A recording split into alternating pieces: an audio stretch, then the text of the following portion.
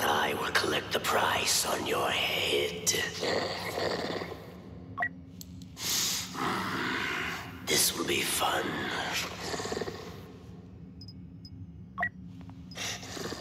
You're just another target. Nobody can hide from me.